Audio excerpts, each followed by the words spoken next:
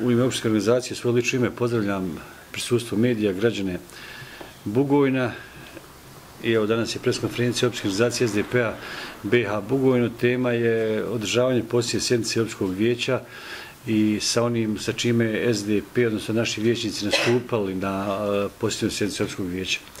Ja ću se bazirati samo na eh, onaj dio koji se tiče uh, E, usvajanja izvještaja o izvršenju budžeta e, općine Bugune za 2014. godinu u kojem smo mi e, preko svojih vječnika rekli da nismo zadovoljni iz razloga što se određene transakcije u pojedinim sektorima vršile na način koji nije u skladu sa zakonom o izvršenju budžeta općine Bugojno, odnosno na osnovu zakona o budžetima Federacije Bosne i Hercegovine i na kraju e, stoji da su neplaćeni neplaćene obaveze općine Bugojno oko 2,5 miliona maraka. Mi smatramo da je to deficit općine Bugojno i vječnici SDP-a su govorili o tome na posljednju sjednicu Opskog vijeća, međutim e, većina u Opskom vijeću je usvojila izveštaj o izvršenju, e, međutim e, nije nam pojašnjeno taj deficit gdje se tereti, znači imamo dobavljače, imamo plaće uh, uposlenicima i još druge obaveze. I mi ovaj put molim općeg načelnika da uh, dostavi medijima uh, dugovanja od 2,5 miliona konjunktivnih maraka onim e, da li pravnim ili fizičkim licima na koje se to odnosi i kako evo u 2015. godini, ja nisam vidio da je prepoznato u budžetu za 2015. godinu da se te, e, taj deficit nalazi da se prevaziđe. Znači i ove godine vjerovatno se napraviti još e, veći deficit, tako da u 2016. godinu sigurno ulazimo sa minusom koji će biti po budžeta općine Bugojno. Znači ovaj put ispred SDP-a, evo, molimo načelnika da nam E, dostavi spisak dužnika kojima općina Bugojno duguje za, evo, sa 30, kako je rečeno u izvještaju, sa 31.12.2014. godine. Teklo sjednicu opskog vijeća je između ostalog i mm, e, odbijanje inicijative koju sam ja podnio ispred kluba vječnika SDP-a. Radi se o zaključku ili skandaloznom zaključku sa protekle sjednice opskog vijeća kojim je opcijska većina na čelu sa SDA, HDZ-om, SBB-om i takozvanim nezavisnim vječnicima SD, koji su nekad bili SDP-ovci, jeli, e, zaključila da se nadokladi šteta nezavisnom vječniku ili takozvanom nezavisnom vječniku Samiru Šećiću povodom zapaljenja ili navodnog zapaljenja njegovog automobila. Dakle, vijećnici su to glatko odbili da apsolutno se niko nije ovaj ključio u diskusiju.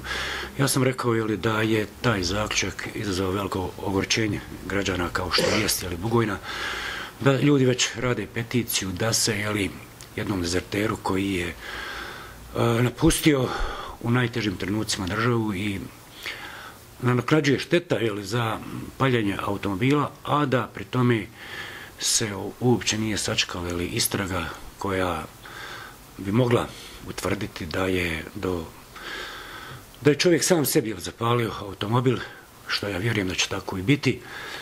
Ja sam rekao je li da je vječnik Šećić imao niz motiva za takav postupak. Prvo da je postao više da bude u žiži interesovanja, dakle, E, nakon što je za opciju za koju je radio, odradio to što je odradio, da je jednostavno htio da ponovo skrene pažnju na sebe, da ispadne žrtva i tako dalje, o čemu će sigurno istražni organi razmisliti. Drugo, da je sve to vrlo glatko e, prevalio ili prepisao SDP-u, njemu omrznutom SDP-u, od koga su on i njegova porodica više od 15 godina vrlo lagodno ili živjeli. I treće je ono što je baš vrlo katastrofalno je da sve to naplati od poredskih obaveznika, dakle od građana Bogojna. Šteta kakva je, takva je. Rekao sam jeli, da uopće nije bitno da se otvara jedan postupak, jedna procedura koja može da iziđe na, sa nasagledivim posljedicama, sada svako jeli, ima pravo da za bilo kakvu štetu, posebno demobilisani borci, invalidi i tako dalje, traže nadoknade za niz šteta koje im se čine od i dešava u životu i tako dalje, što to sigurno je li općinski budžet e, neće moći da izdrži.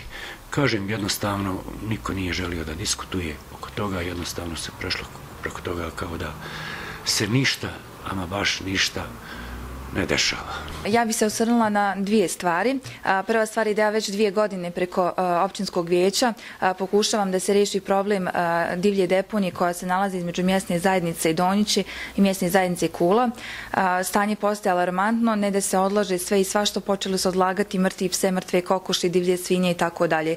Ja moram naglasiti da je to uz sami most, dakle gdje svakodnevno prolazi i na desetine djece, a kako se približavaju visoke temperature može vrlo, vrlo lako doći do zaraza. A druga stvar što bi se osvrnula jeste odluka općinskog vijeća da ove godine stipendije boduje komisija za pitanje mladih, kao što je radila i prihodne dvije godine, ali ono što je upitno je da je ta komisija nelegalna. Ta komisija je imenovana na nelegalnoj sednici, nelegalno, obzirom da je svih pet članova komisije vanski članovi, što pravilnikom statutom općine Vugojno ne može, jer statut kaže da većina članova mora biti iz općinskog vijeća, vijeća, što u ovom slučaju nemamo.